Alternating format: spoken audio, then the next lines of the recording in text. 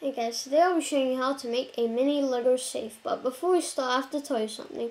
On our channel, we don't just do Lego building videos. We do K'NEX building videos, Beyblade videos.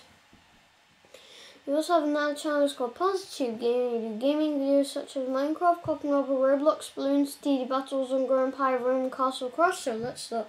First thing we need to do is get this. We place this on.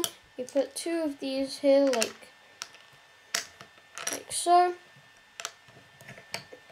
Then we get this here. We place this here, this on. Put this here. Um. Then next you get these on and you place two of these here like that and you get this and you place this on top. So now it can't be opened. Then you place these like that.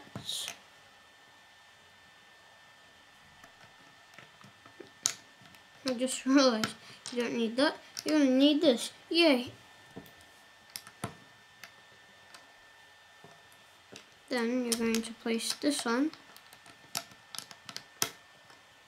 And you're going to place this, oh wait, no, this, then this here.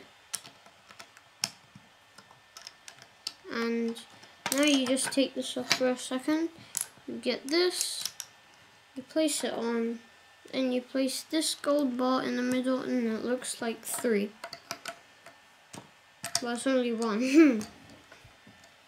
And next, uh, you get another one of these. You place it here just like that. And you get this. Then you get this. Then you get this. And then this. So here's the finished thing. The way to open it is you push this side and you take it out. You open this like that.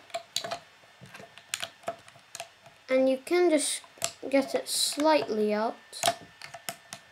But if you take this out, because I actually made a mistake here. I was supposed to put this on this side. Because if you know, if I put it here, like this, I just even can. It can go out a bit. If I put, if I put on this side, you can't, look.